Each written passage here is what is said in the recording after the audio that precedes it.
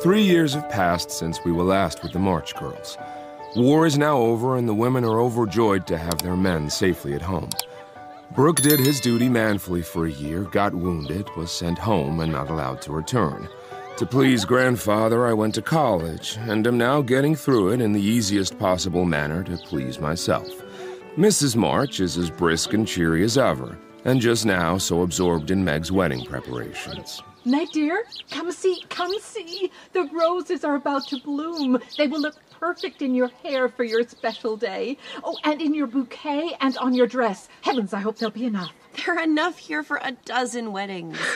John's favorite flower is lily of the valley, and that is all I shall have in my bouquet. Now, I must check with Hannah if she has got everything in for the lunch. I don't want all left to the last minute and then find it's out of stock.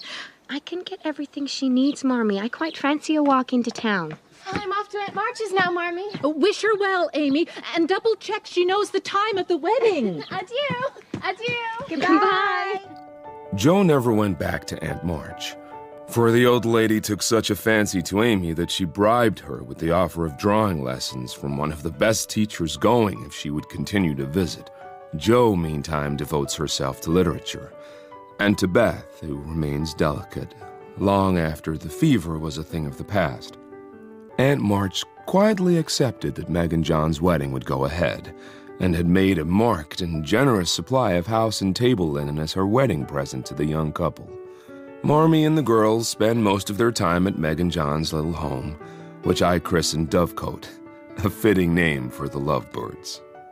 This is quite lovely. Are you satisfied, my dear girl? Does it seem like home to you? And do you feel as if you should be happy here? Yes, Mother, perfectly satisfied. Thanks to you all. I couldn't have done it without you. There may be no marble top tables, long mirrors, or lace curtains, but there are pretty gifts all about which came from your friendly hands. Oh. If only you had a servant or two, it would be all right. Marmee and I have talked that over, Amy. And I have made up my mind to try her way first. I have Lottie to run my errands and help me here and there. I shall only have enough work to keep me from getting lazy or homesick. Sally Moffat has four servants. If Meg had four, the house wouldn't hold them, and Master and Mrs. would have to camp in the garden. Sally isn't a poor man's wife, and many maids are in keeping with her fine establishment. Meg and John begin humbly, but I have a feeling that there will be quite as much happiness in the little house as in the big one. Quite right. It's a great mistake for young ladies like Meg to leave themselves nothing to do but dress, give orders, and gossip. Well said, Mother. Oh, oh, Laurie, you're home. How good to see you. How are we? Keeping out of trouble, I hope. Yes, I am. Glad to hear it. Is that a fitting welcome for your boy? Don't tease. Come here. oh, welcome home, Teddy. Oh. How is college? What's the news? Walk with me. I'll tell you all. Marmee, I'm going for a stroll with Teddy. It has been too long and we must catch up. Dearest Meg, I love your house. It feels like you. Beautiful and homely. Thank you. I hope you will always visit. You can count on it. Teddy and I walked the short way back home, arms linked, carefree. His weekly visit home was an important event in my quiet life.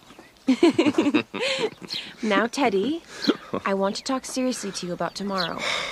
You must promise me to behave well and not cut up any pranks or spoil our plans for the wedding. Not a prank. And don't say funny things when we ought to be sober. I never do. You're the one for that. And I implore you not to look at me during the ceremony.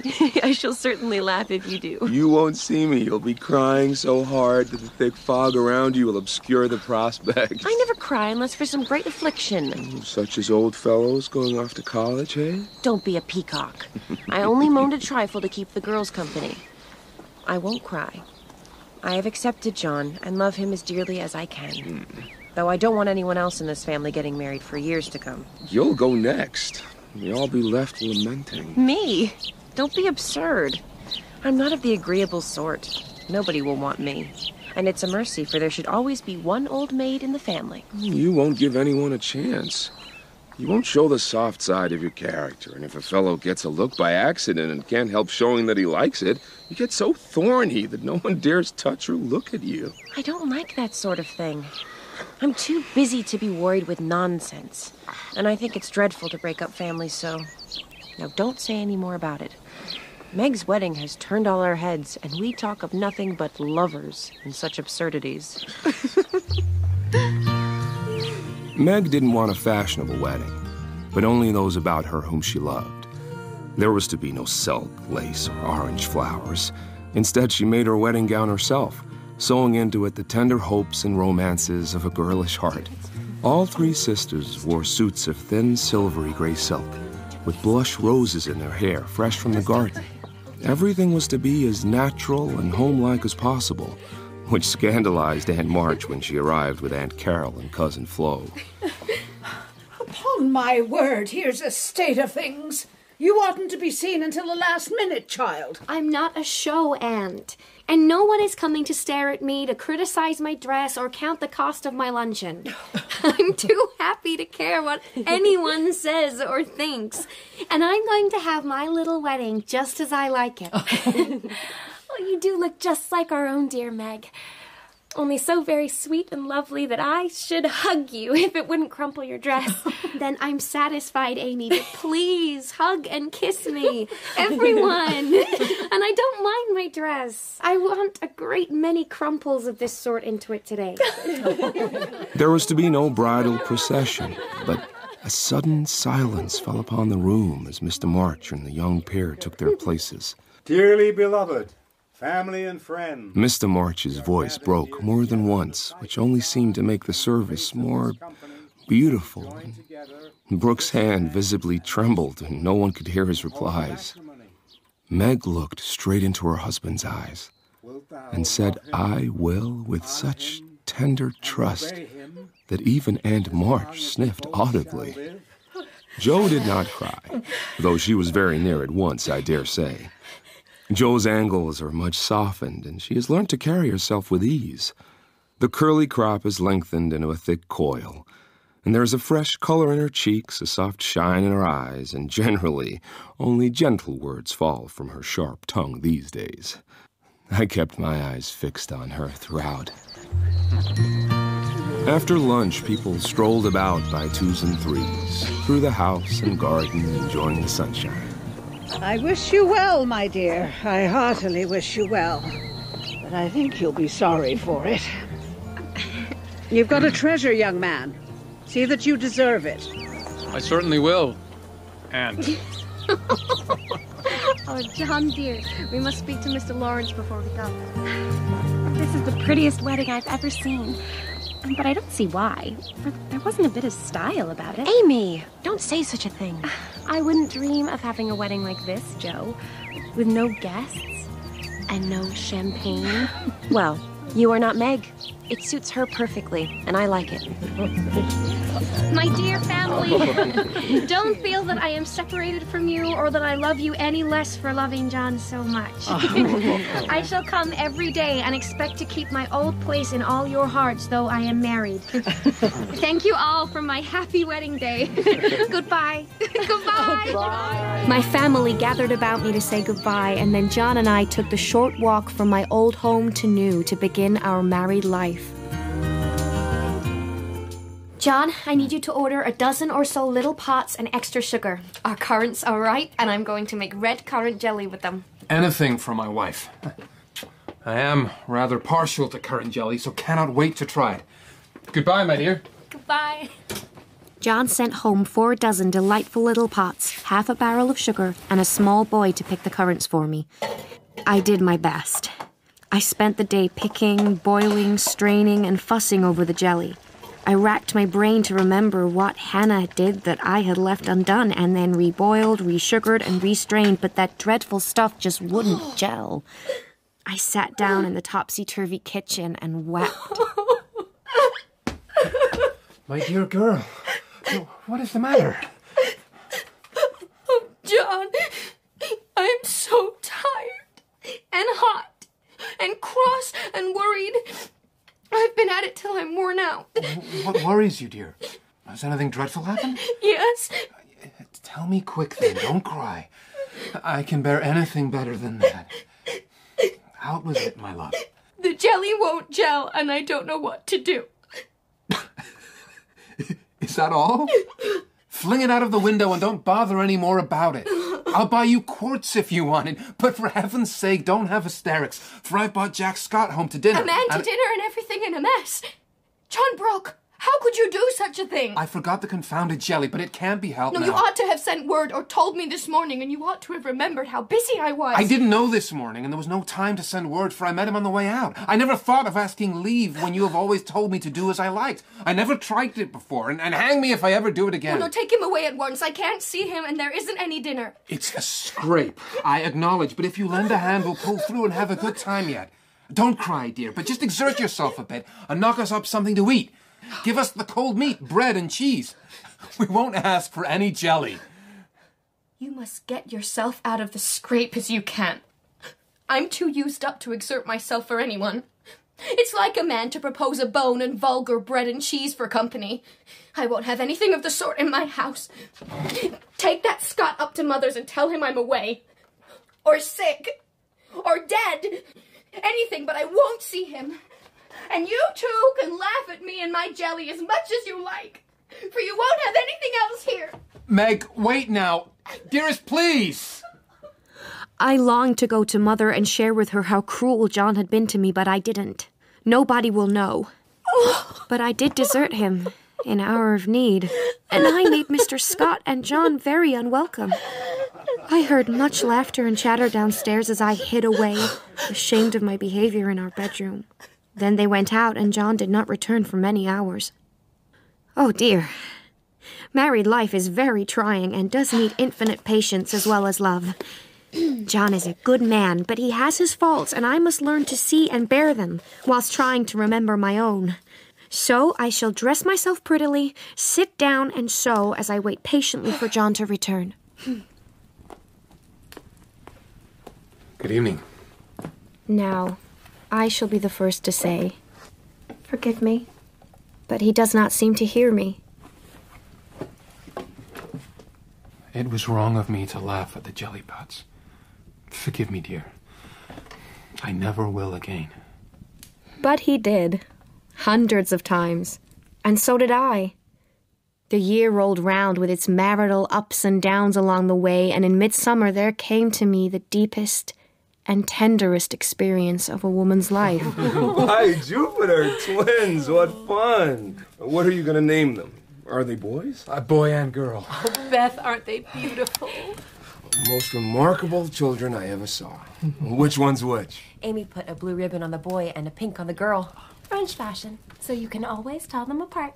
Kiss them, Uncle Teddy. Oh, I'm afraid they mightn't like it. Of course they will. Do it now. There.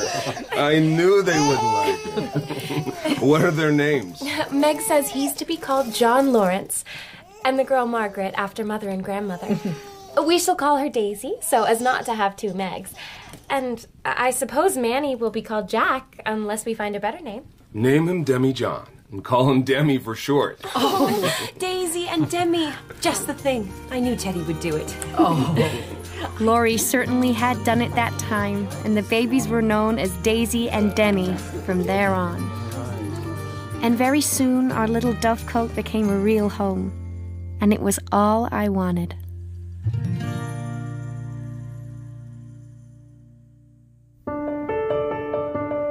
We fell into a pattern of things.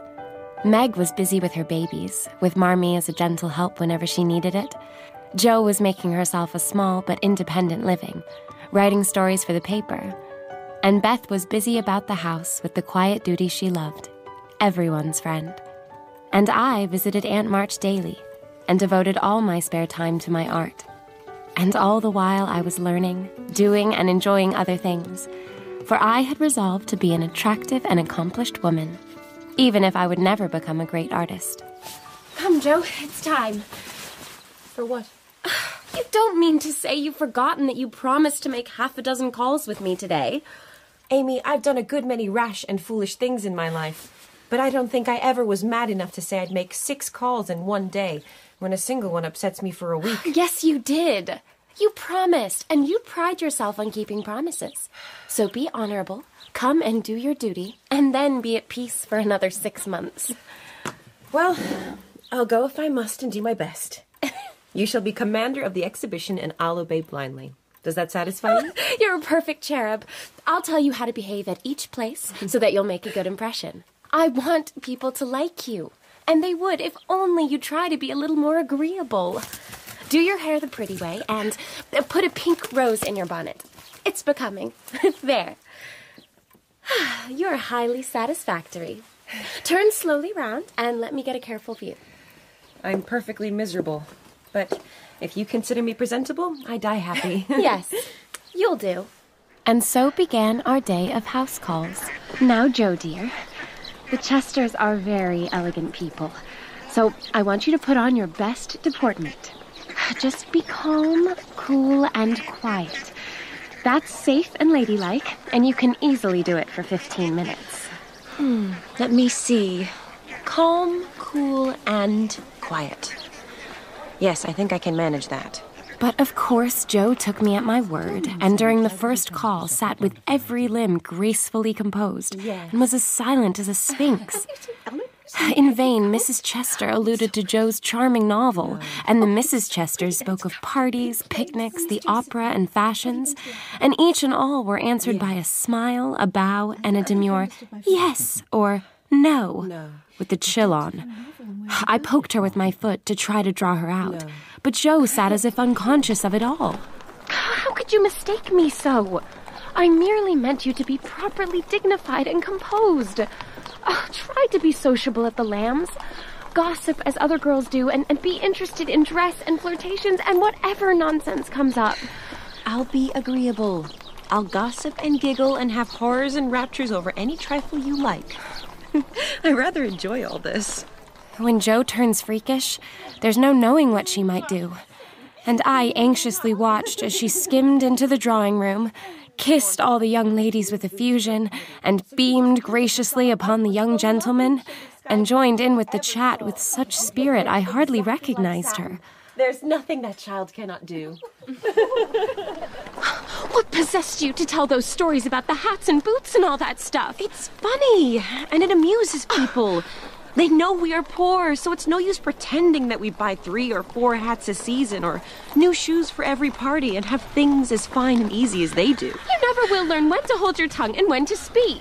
Let us go home now, then. And never mind Aunt March today. Aunt likes to have us pay her the compliment of coming in style and making a formal call. It's a little thing to do, but it gives her pleasure. What a good girl you are, Amy. I wish it was as easy for me to do little things to please people as it is for you.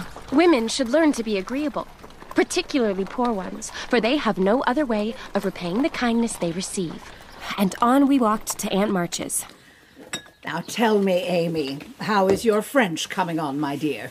Bien, Tante March. Oh, c'est bon. That's good to hear. And you, Josephine? Ugh, I can't bear French. It's such a slippery, silly sort of language. Are you going to help at the fair, Amy? Uh, yes, Aunt. Mrs. Chester asked me if I would, and I offered to tend a table, as I have nothing but my time to give. Oh. I'm not. I hate to be patronized, and the Chesters think it's a great favor to allow us to help with their highly connected fair. I wonder you consented, Amy. They only want you to work. And I am willing to work.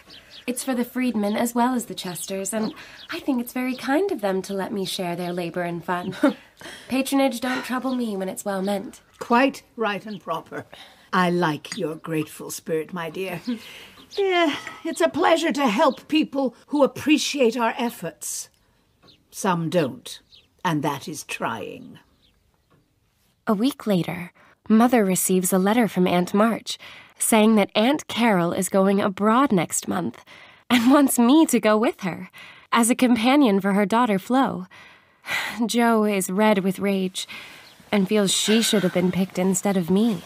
Oh, Mother, she's too young. It's my turn first, and I've wanted to go for so long. I'm afraid it's impossible, Jo. Aunt March says it's to be Amy decidedly. It's always so. Amy has all the fun, and I have all the work. It isn't fair. It isn't fair. I- I'm afraid it's partly your own fault, dear. She planned to ask you first, but as you hate French, she writes, I won't venture to invite her. Oh, my tongue. My abominable tongue. Why can't I learn to keep it quiet? I wish you could have gone, but there is no hope of it this time. Try to bear it cheerfully, and don't sadden Amy's pleasure by reproaches or regrets. I'll try. There was not much time for preparation, and the house was a flurry of activity as everyone helped me pack until the day I was ready to depart. Goodbye! Goodbye, Marmee! I will write, I bore up stoutly, saying goodbye. And then, just as the gangway was about to be withdrawn, it suddenly came over me. That whole ocean was soon to roll between me and the ones who loved me best, and I clung to Laurie, the last to linger. Oh, do take care of him for me. And if anything should happen. I will, dear. Time to depart! Vacate the gangway, please! So Amy sailed away to find the old world, which is always new and beautiful to young eyes. This had always been my dream, and though I bore up well when we waved her off at the quayside, when we got home, I retired to my refuge, up here in the garret, and cried till I couldn't cry anymore. I have a new letter from our young explorer. I have been longing to hear from her. Beth, dear, would you like to read it? Oh, Jo reads aloud better than I. Go ahead. I like to listen. Oh. Dearest people, here I really sit at a front window of the Bath Hotel, Piccadilly, London. oh, I can't begin to tell you how I am enjoying it all. I sent a line from Halifax when I was feeling pretty miserable. Oh, my little baby, I was worried she'd get homesick. If I know Amy, I bet it passes soon enough. It does. Oh. It does. She writes, after that I got on delightfully, seldom ill, on deck all day with plenty of pleasant people to amuse me. Everyone was very kind to me, especially the officers. Oh, that's just like Amy, straight to the top. and she writes, Don't laugh, Jo. Gentlemen really are very necessary aboard ship to hold on to or wait upon one. It's a mercy to make them useful, otherwise, they would smoke to death, I'm afraid. And Carol and Flo were poorly all the way and liked to be left alone. Oh. oh. so when I had done what I could for them, I went and enjoyed myself. Such walks on deck, such sunsets, such splendid air and waves. I wish Beth could have come. It would have mm. done her so much good. Oh, that's so sweet of her to think of me. I'll take you to the seashore, Bethy. See that I don't. Oh, you're here too, Jo. As for Jo, she would have made friends with all the engineers and have tooted on the captain's speaking trumpet. She'd have been in such a state of rapture. She's right, of course. I'd have no time for holding on to the officers. No. Amy says she will write to us again soon. It rained when we got to London, and there was nothing to be seen but fog and umbrellas. And so we rested, unpacked, and shopped a little between the showers. I have met a very nice family who, would you believe it, know Laurie. How small the world seems, even though I'm so far from you all. Fred, who is the eldest, is very charming, and his young brother Frank, a shy, rosy faced boy, who reminds me a little of dear Beth. I really feel like a dissipated London fine lady, writing here so late, with my room full of pretty things and my head a jumble of parks, theaters, new gowns. Anyways, Aunt is tapping on the wall for a third time, so I must stop. I'm so looking forward to Paris, but I long to see you all, and in spite of my nonsense, I am, as ever, your loving Amy. Such delightful times we are having in Paris. Fred Vaughn is often my companion, for he has turned up again on his way to Switzerland. Aunt looked a little sober at first, but as he speaks French like a native, we are now all very glad he came and are grateful to have Fred do the parlez-vouing, as Uncle calls it.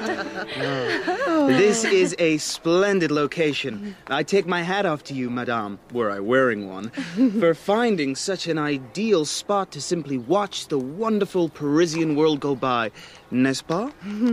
Thank you, Fred. I'm glad it pleases you. Oui, madame, il est parfait. So, mademoiselle Amy, what will we do tomorrow? Uh, rain is forecast. Then to the Louvre, perhaps? I cannot think of a better place to be on a rainy day in Paris. Nor I. May I accompany you, mon ami? Of course. Yes, I think we shall all come. I am so happy. Sometimes I think I will burst with excitement and the wonder of it all. Robert, dear, I, I have a letter here from Amy. Well, shall we wait and read it with Jo and Beth? Not this one. She's written it privately for just my eyes, but you need to hear it too. All right. My dear Marmee, I'll try I'll to try tell to you tell what, you has what has happened, happened, for some of it is very important, as you will see. Fred has been so kind and jolly that we have all grown quite fond of him. I never thought anything but a traveling friendship, but I've begun to feel that the moonlight walks, balcony talks, and daily adventures are something more to him than fun. I haven't flirted, Mother, truly, but remembered what you said to me, and have done my very best. I can't help it if people like me. I don't try to make them, and it worries me if I don't care for them. Marmee, I've made up my mind, and if Fred asks me, I shall accept him, though I'm not madly in love. Mm. I like him, and we get on comfortably together. He is handsome, young, clever enough, and very rich. Ever so much richer than the Lawrences. Oh, well, that's something. One of us must marry well. Meg didn't, Jo won't, Beth can't yet. So I shall, and make everything cozy all round. I hate poverty and don't mean to bear it a minute longer than I can help. Oh, Amy. When will she learn that though money is a precious thing, it is not the only prize to strive for? Nowhere does she write she loves him. Though Fred is not my model hero, he does very He does well. very well. And in time, I should get fond enough of him. If he was very fond of me and let me do just as I liked. Dearest Amy, you look simply stunning. Ah, thank you, Fred. All dressed up and ready for another adventure. I'm afraid I have to leave. Oh, well, whatever's the matter? My brother Frank is very ill. They're begging me to come home, so I'm leaving at once on the night train. I only had time to find you to say goodbye, and. uh, I shall soon come back, though. You won't forget me, Amy? Of course I won't. There was no time for anything but messages and goodbyes, for he was gone in an hour, and now we all miss him very much. I know he wanted to speak more, but we shall soon meet again in Rome. And then, if I don't change my mind, I'll say yes, thank you, when he says, Will you please? With Amy away enjoying her life in Europe, our little house seems very quiet indeed. Until, of course, Meg and the twins arrived, and then the house feels full again with laughter and childish pranks. How we love these visits. And I believe Beth is gaining a little of her old strength the more time she spends with Daisy and Demi. Laurie comes and goes from college, and when he arrives home, he comes straight over to visit us. When he first went, he fell in love about once a month. But these small flames were brief, did no damage, and amused me no end. But then there came a time when Laurie ceased to worship at many shrines, and instead hinted at one absorbing passion. Come on, Jo, don't be thorny. After studying myself to a skeleton all week, a fellow deserves some petting and ought to get it. Mother doesn't approve of flirting, even in fun. And you do flirt desperately, Teddy. God, I'd give anything if I could answer so to you. Go and sing for me, why don't you? I'm dying for some music, and I always like yours. I'd rather stay here beside you, thank you. Well, you can't. There isn't room. Besides, I thought you hated to be tied to a woman's apron string. Ah, that depends on who wears the apron. Are you going? If I must. Adieu. Adieu, dearest Jo. Laurie graduated with honor that year. We were all there. Mr. Lawrence, so proud. Marmee and father, John and Meg, Beth and I, all exulted over him with admiration and praise and joy. Now you're graduated. You must have a good long holiday. I intend to. Will we walk? I always used to take his arm on these occasions, but now I did not. He made no complaint, which bothered me. So we walked on in silence until we came to the little path that led homeward through the grove. It's no use, Jo. We've got to have it out, and the sooner the better for both of us. Oh, Teddy, please don't. Jo, I've loved you ever since I've known you. I couldn't help it. You've been so good to me. I tried to show it, but you wouldn't let me. Now I'm gonna make you hear and give me an answer. For I can't go on like this any longer. I wanted to save you from this. I thought you'd understand. I know you did, but girls say no when they mean yes and drive a man out of his wits for the fun of it. Not me. I never wanted to make you care for me. But I do. I'm so grateful to you and so proud and fond of you. But you and I are not suited to each other. Our quick tempers and strong wills will make us very miserable if we were so foolish as to marry. No, no, we shouldn't. We'd be happy. If you loved me, Jo, I should be the perfect saint, for you can make me anything you like. I, I can't say yes, truly. So I won't say it at all. Then what will become of me? You'll see that I'm right by and by and thank me for it. You'll love someone else and forget all this trouble. I can't love anyone else. And I'll never forget you, Jo. Yes, you will. You'll find some lovely, accomplished girl who will adore you and make a fine mistress for your fine house. And I, I shouldn't like elegant society, and you would, and you would hate my scribbling, and I couldn't get on without it. I don't believe I shall ever marry. I'm happy as I am, and love my liberty too well to be in any hurry to give it up for any mortal man.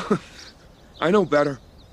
You, you think so now, but there will come a time when you will care for somebody, and you'll love him, and I shall have to stand by and see it. Be hanged if I will. Where are you going? What does it matter? Wait. Wait, will you please? Teddy, oh, Teddy, I'm so desperately sorry. I've tried. I've done my best. I wish I could love you like you want me to, but I just can't. You'll be sorry someday, Jo. And with that, he turned sharply away from me and marched off through the long grass towards the riverbank. I drew a long breath and watched the poor fellow trying to outstrip the trouble which he carried in his heart. Soon after this, Laurie told me he and Mr. Lawrence were to go to Europe. Grandfather has business in London that needs looking after. He has friends in London and Paris, and he should like to visit them. Meanwhile, I can go to Italy, Germany, Switzerland, wherever I want, and enjoy pictures, music, scenery, and adventures to my heart's content. When do you leave? As soon as we are ready. A week or two. Maybe less. What does it matter to you? During the time leading up to their departure, Laurie avoided me, but I often caught him staring at me from his window with that tragic face that haunted my dreams at night and oppressed me with a heavy sense of guilt by day. What is it, my dear? Are you well? Quite well, Marmee. I just. I need something new. I brood too much over my own small affairs and need stirring up. So I'd like to take a little hop away and spread my wings. And where will you hop to? You remember your friend, Mrs. Kirk, wrote to you, asking for some respectable young person to teach her children and sew. And I think I should suit if I tried. To New York? I long for a complete change, Marmee.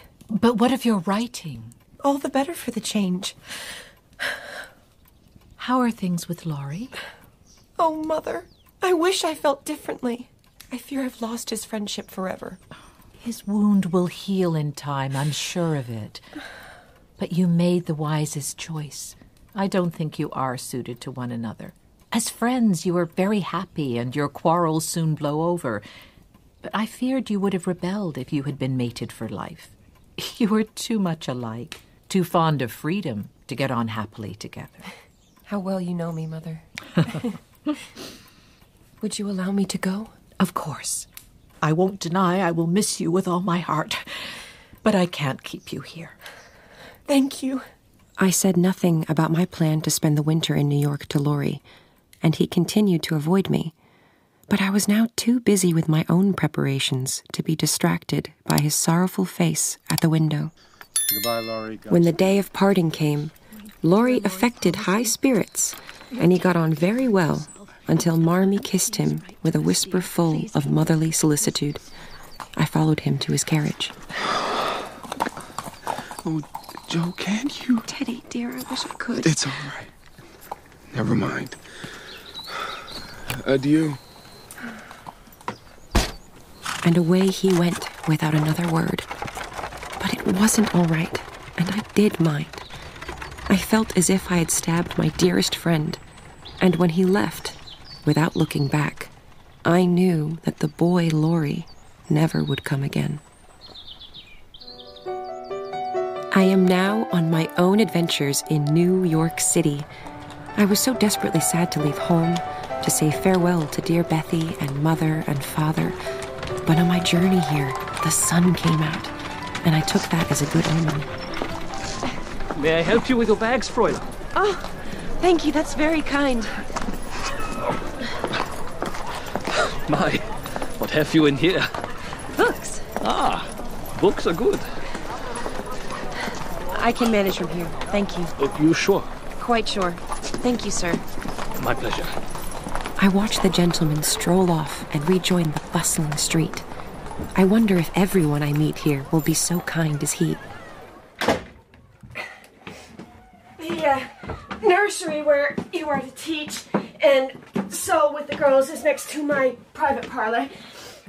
And uh, my door is always open to you, and your own shall be as comfortable as I can make it. I'm afraid the scar parlor is all I have left. Here we are then. There's a stove and a little table there by the sunny window. It's perfect for my writing. And there's a fine view of the church and tower opposite. I love it. Thank you. I learnt from Mrs. Kirk that the man with the foreign accent who helped me with my bags must have been Professor Bhaer, a resident of her house. He's always doing things like that. Helps the servant girl up the stairs with the coal. Very well mannered gentleman. He was from Berlin. Very learned and good, but as poor as a church mouse. He gives lessons in my parlor to support himself and his two little orphan nephews, whom he is educating here. The professor has the kindest eyes I ever saw. He has a full head of brown hair that tumbles all over his face and a bushy beard. His clothes are rusty, his hands are large, and he isn't handsome, yet I do like him. He looks like a gentleman.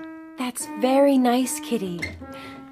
My dear, would you like to join us for dinner this evening? Oh, yes, I, I would. Thank you very much. Professor Bhaer is very fond of children. All the children of the house have lost their heart to him. In fact, everyone is fond of him. It puzzles me at first. He is neither rich, nor great, young, nor handsome. He is poor, but always appears to be giving something away. A stranger, yet everyone is his friend. No longer young, but as happy hearted as a boy. He makes me smile. Oh, you have a good day for your walk, Miss March. It is most pleasant out. Cold, but fresh and very bright. Makes you feel alive, no? yes, I do hope so. Uh, will you go home for Christmas, Miss March? No. This Christmas, at least, I shall be here. Ah, first Christmas from home. Yes. Then we must make it special, no? Uh, oh, I, I, don't need any fuss. right, here, uh, let me open the door for you. Thank you, Professor. Auf Wiedersehen. As Christmas approaches, I am homesick. But my exchanges with the professor somehow make it easier to bear. A gift for you, Miss March. Mr. Bhaer, this is very kind. Your Shakespeare book. You always say you long for a library. And now you have it, all in one book. From your friend, Friedrich Bhaer. It's the perfect gift. Thank you. Not having much money or knowing what he'd like, I got several little things and put them about his room where he would find them unexpectedly. A new standish for his table, a little vase for his flower, as he always wears one in his buttonhole. And I wrote a thank you letter home. A happy new year to you all, my dearest family. I can't tell you how much I enjoyed your Christmas bundle. I just hugged it when it arrived. Oh. then I sat down on the floor and read and looked and ate and laughed and cried. The things you sent were just what I wanted. As she concludes, I had a very happy Christmas and New Year, and I feel I'm getting on a little. I'm cheerful all the time now, work with a will, and take more interest in other people than I used to. Oh. Professor Bhaer has also offered to teach me German. As I said, one of my resolutions was to learn a language. Bless you all. Ever your loving Jo. Oh, I hope she is finding time to write with all the adventures she is having and new friends she is making. I value the professor's esteem and want to be worthy of his friendship. He is an excellent teacher. My German has actually started to improve. I am truly happy, and my pen lays idle. And for the first time in many years, I didn't mind. You know das? Hans Christian Andersen, yes. Yeah, good. So, uh, you read from here. Das wäre einen, das wäre einfach für mich gedacht, er, aber sie ist Äh, Etwas etwas vornehm. vornehm. Das ist gut. It was a pleasant winter, and a long one, for I didn't leave Mrs. Kirk's until June. Everyone seems quite sorry to see me going. Going home. Ah, you are happy that you have a home to go in. You won't forget to come and see us if you ever travel our way, will you? I so want my family to know my friend. Do you? Shall I come? Please do. I'd like that very much. Mr. Bhaer came with me to the station to see me off. And thanks to him, I began my solitary journey with the pleasant memory of a familiar face smiling its farewell, a bunch of violets, and the happy thought that though I've written no books, earned no fortune, I've made a friend worth having, and I'll try and keep him all my life.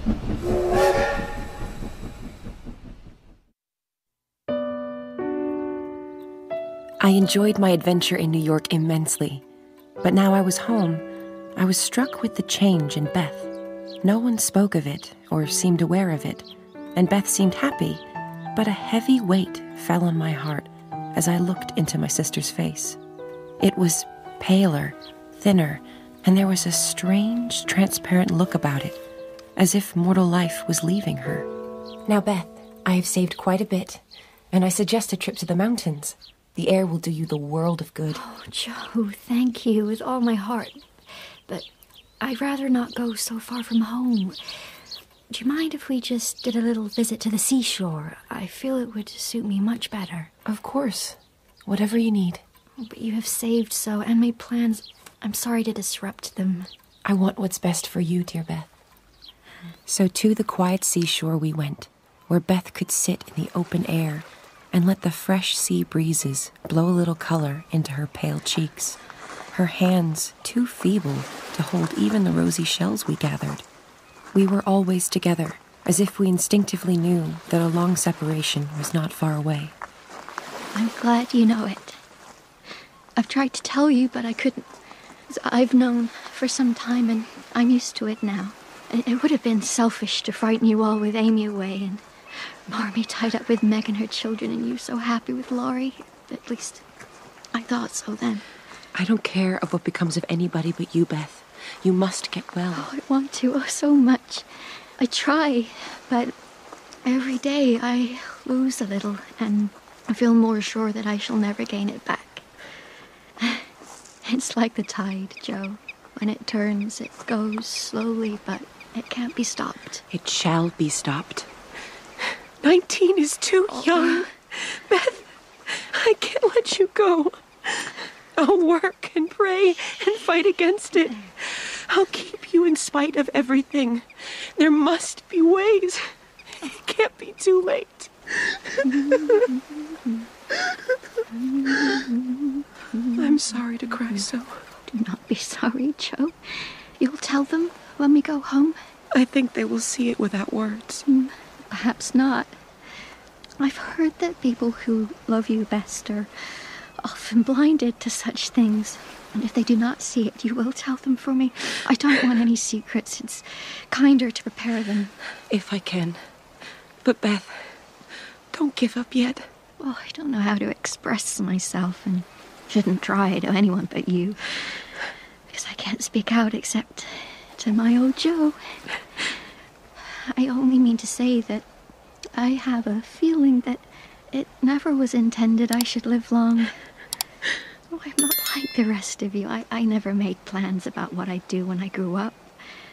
I never thought of being married as you all did. I never wanted to go away, and The hard part now is the leaving you all. No, I'm not afraid, but it seems as if I should be homesick for you even in heaven. Dear little bird, see, Jo. Oh, oh, how tame it is. Oh, I like peeps better than gulls.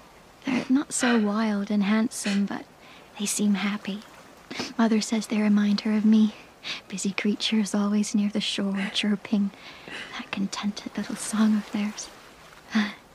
You are the gull, Jo, strong and wild, fond of the storm and the wind, flying far out to sea and happy all alone.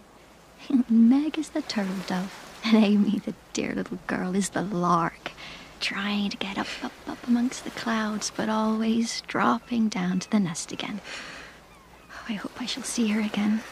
But she seems so far away. She is coming home in the spring, and I mean that you shall be all ready to see and enjoy her.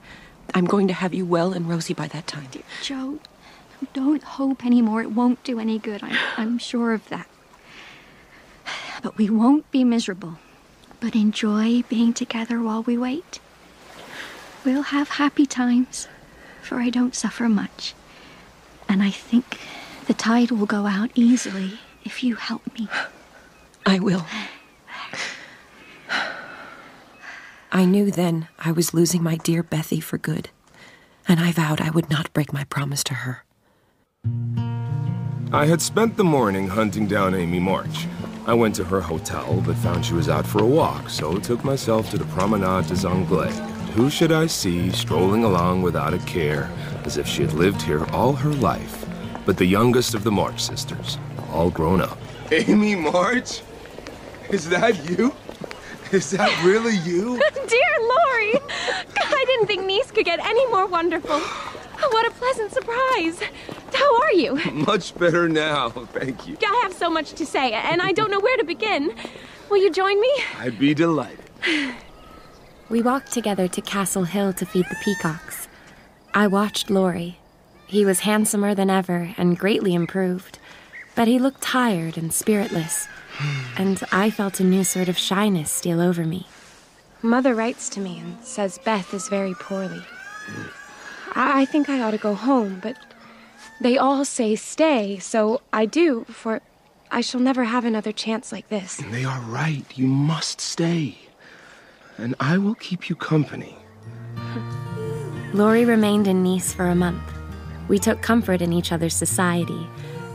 But there's a hard, bitter look in Laurie's face, full of pain, dissatisfaction, and regret. I couldn't find the merry faced boy I left in the moody looking man beside me. Laurie, when are you going to your grandfather? Uh, soon. You've been saying that daily for the last two weeks. Are you bored of my company now? I just think you should do what's best. What's best? Now, I have a new name for you Lazy Lawrence. How do you like it? Not bad, thank you. Do you want to know what I honestly think of you? Pining to be told. I despise you. Oh, why, if you please? Because with every chance for being good, useful, and happy, you are faulty, lazy, and miserable. Strong language, mademoiselle. What would Jo say if she saw you now? As usual, go away, Teddy. I'm busy. Here you've been abroad nearly six months and done nothing but waste time and money and disappoint your friends. You know, I said when we first met that you'd improved. But now I take it all back. For I don't think you half so nice as when I left you at home. Do you think Jo would despise me as you do? Yes, if she saw you now. She hates lazy people. Why don't you do something splendid and make her love you? I did my best. But it was no use. She won't love me. Love Jo all your days if you choose. But don't let it spoil you. For it is wicked to throw away so many good gifts because you can't have the one you want. There. I won't lecture anymore. For I know you'll wake up and be a man, in spite of what has happened. Next morning, instead of the usual call, I received a note from Laurie saying that Lazy Lawrence has returned to his grandpa like the best of boys. I'm glad he's gone, but I shall miss him. Amy took our advice and stayed in Europe. There was nothing she could do for Beth now, and there was no need of any words when we got home from the seashore, for father and mother saw plainly how frail Beth had become. I helped her up the stairs and into bed, her frail hands clutching to me for support and comfort. Oh, I so enjoyed our trip away, Jo, but I'm so glad to be home. I'm glad you enjoyed it. There now. You rest. You will tell father and mother, won't you? I don't want secrets. But when I went back downstairs, I was spared the hard task of telling Beth's secret. Father stood, leaning his head against the mantelpiece, and did not turn as I came in. And Mother stretched out her arms as if for help, and I went to comfort her without a word. When the first bitterness was over, we accepted the inevitable and tried to bear it cheerfully and help one another. We put away our grief and each did our part toward making the end a happy one for Beth. The pleasantest room in the house was set apart for her, and in it was gathered everything that she most loved flowers, pictures, her piano, the little work table, and her beloved cats. How beautiful this sunny room is. Makes me very happy indeed. I'm so glad. Demi and Daisy will be here in a little while, so you rest now. There. Do you have everything you need? Mm, I do. Thank you, Jo. But there then came the sad time when Beth said the needle was so heavy and she put it down forever. Those little hands, which were always busy making gifts and treasures for everyone about her, were now so thin and pale. Talking wearied her, faces troubled her, and pain claimed her for its own. Such heavy days, such long, long nights, such aching hearts and imploring prayers. And I never left her side. Are you sleeping? Not asleep, but happy, for I don't fear it any longer. I'm sure I shall be your Beth still, even when I'm gone. And in the dark hour before the dawn, she quietly drew her last breath, with no farewell, but one loving look and a sigh. When morning came, the fire was out. My place was empty, and the room was very still. Looked at peace. The pain in her face had gone at last. My dear Laurie, I am sorry that I have not written in so long. Our little Bethy has left us. Marmee says she is at peace and is happy now, but I long for her still. You wrote and asked me if I would ever change my mind, but Laurie, I'm sorry. I cannot, and I will not. I never want to hear the word love again. Please be happy with someone else, but promise to always keep a corner of your heart for your loving sister Jo. Take care of Amy for us. I fear she will need some friendly face to comfort and console her. The moment I read the letter, I packed my knapsack and left Germany for Switzerland to be with Amy. My heart was full of joy and sorrow, hope and suspense, for in that moment I realized that Amy was the only woman in the world who could fill Jo's place and make me happy. And I needed to be with her, console her, and love her as soon as I could. Oh, Laurie. Laurie, you've come. I knew you would. Oh, I, I came the minute I heard. Oh, I've been so lonely and sad, and I've longed to see you.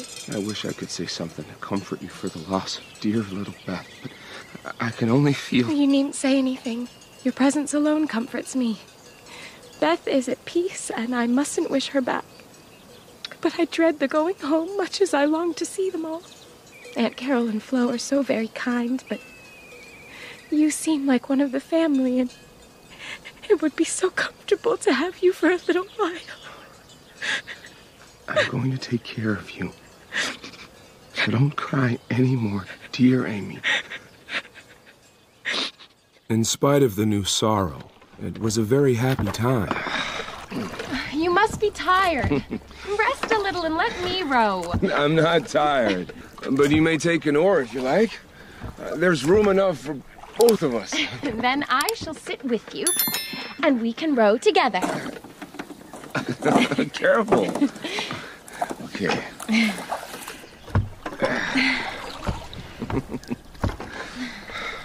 You, you row well, Amy. I was thinking how well we pull together, don't we? Our oars are in time, and the boat glides so smoothly across the water. And I wish we might always pull in the same boat. Will you, Amy? Yes, Laurie. I will.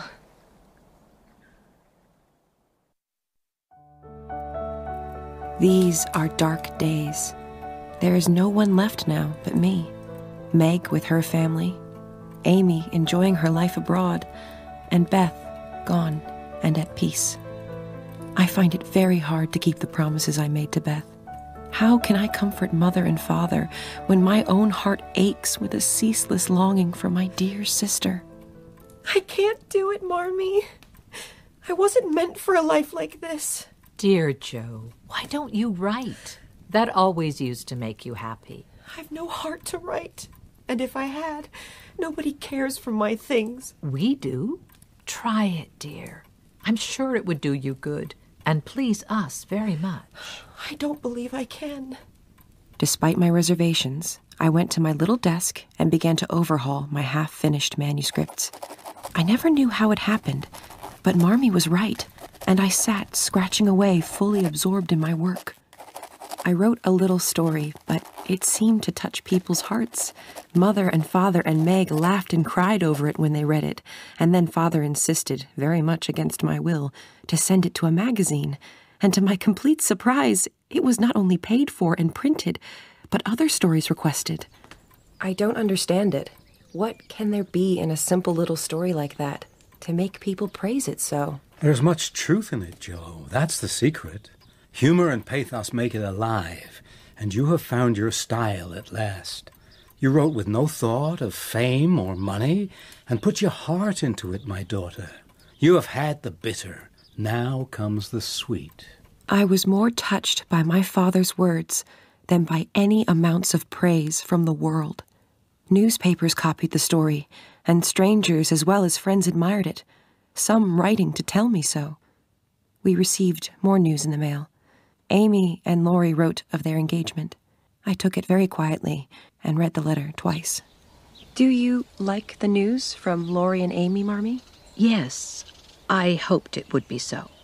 But, my dear, I'm concerned for you. Does it pain you to learn your Teddy loves someone else? Do you really think I'm that silly and selfish that after refusing his love when it was freshest, if not best, I'd want it now? I knew you were sincere then, but lately, I have thought that if he came back and asked you again, you might perhaps feel like giving another answer. No, Marmee. It is better as it is. I am glad Amy has learned to love him. But you are right in one thing. I am lonely. And perhaps if Teddy had tried again, I might have said yes. Rest assured, dear Jo, he still loves you. But that love has changed. And now I hope you will be brother and sister and greater friends for all your days. How wise my mother is. How sharp her eyes. I can hide nothing from her, and I'm grateful to have her as my confidant. I often sit with Meg and sew and talk. Marriage is an excellent thing, then.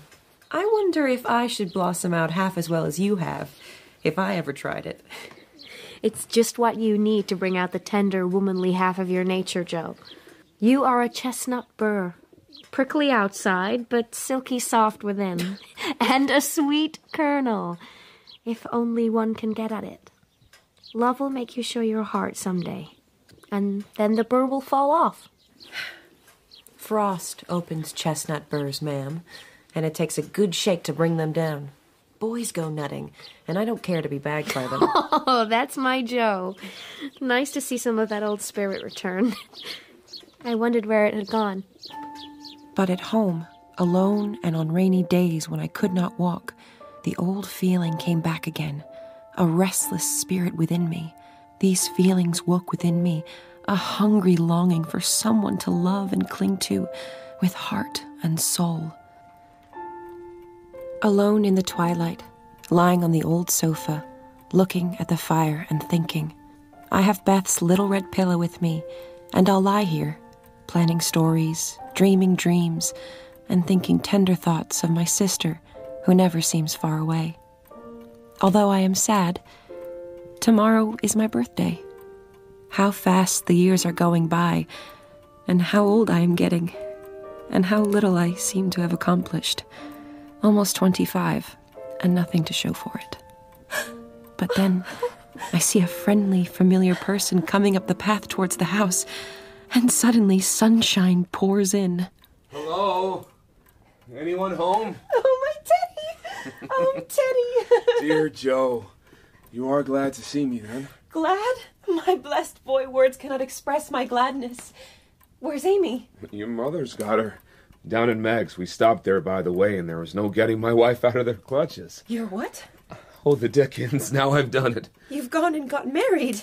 Yes. Don't I look like a married man and head of a family? Not a bit. And you never will. You are the same old Teddy as ever. oh, how good it sounds to hear you say Teddy. No one calls me that but you. So tell me how it happened. When, where, how? Six weeks ago at the American consul's at Paris. Very quiet wedding, of course. For even in our happiness, we didn't forget dear little Beth. Why didn't you let us know afterwards? Oh, we wanted to surprise you. Well, you certainly did that. Jo, dear, I, I want to say one thing, and then we will put it by forever. I shall never stop loving you. But the love has altered, and I have learned to see that it is better as it is. Amy and you changed places in my heart, that's all.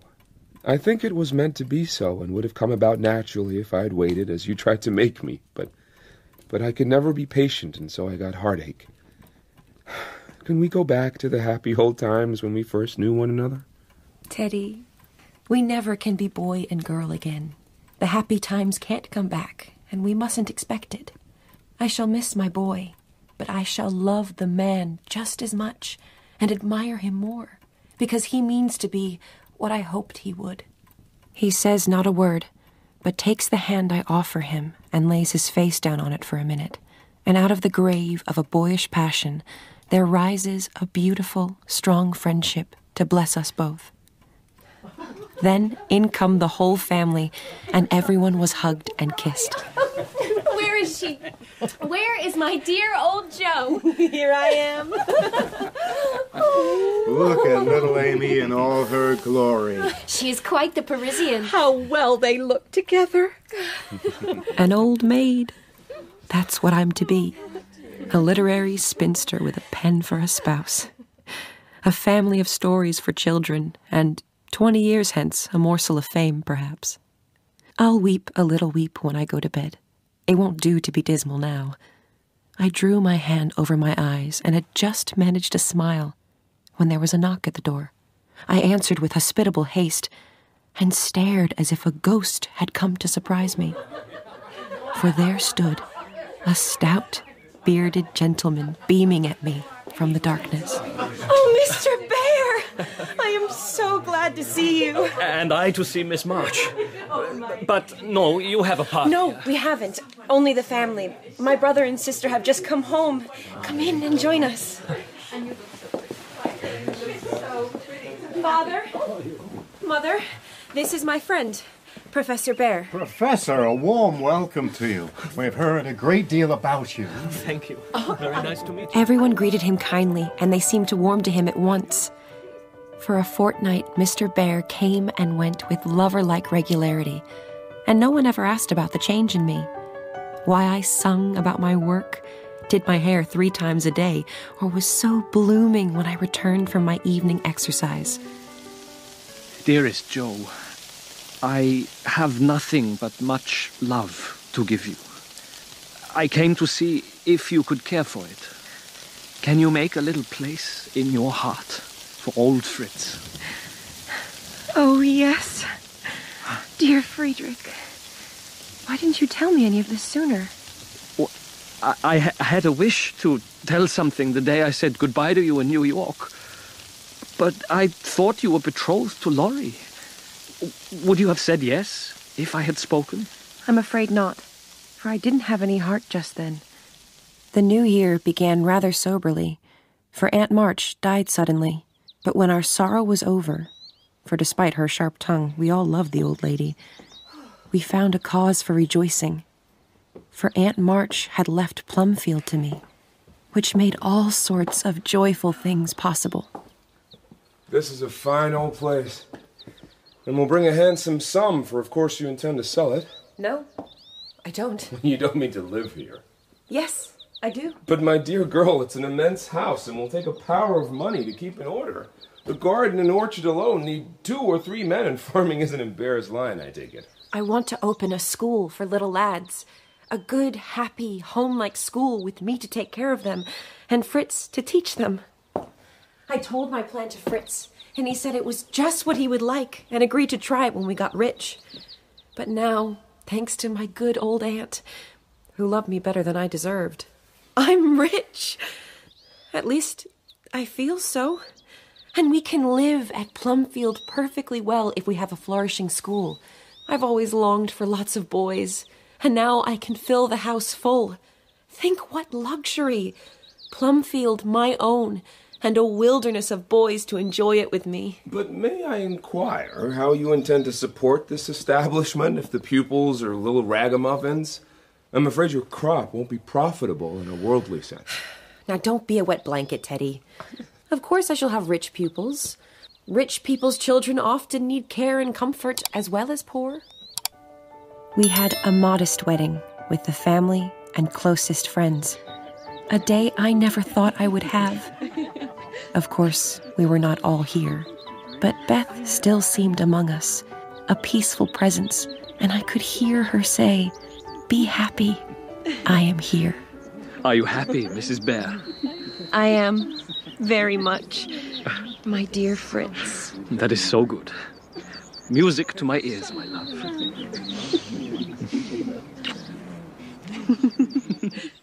Almost before I knew where I was, I found myself married and settled at Plumfield. A family of seven boys sprung up like mushrooms and flourished surprisingly. How I enjoyed my wilderness of boys, and how poor dear Aunt March would have lamented had she been there to see the sacred precincts of prim, well ordered Plumfield overrun with boys. Every room in the big house was soon full. Every little plot in the garden had an owner. And three times a day I smiled at my Fritz from the head of a long table lined on either side with rows of happy young faces. Two little boys of my own arrived to increase my happiness Rob, named after Grandpa, and Teddy, a happy go lucky baby who inherited his papa's sunshine temper and his mother's lively spirit. Many family holidays were spent at Plumfield when all the family would flock to the great house for laughter and songs and apple picking and feasting. Oh, there never has been such a perfect day as this. Or such a jolly set to enjoy it. Dear fellows, it does my heart good to see them forget business and work and frolic for the day. Our girls are all grown up. Just you and I left in our little house now. How good it is to see them so happy. Though I miss dear Beth more each day. She would want you to be happy for them, for I know she is. My dear girls, our little women. I never could wish them a greater happiness than all of this.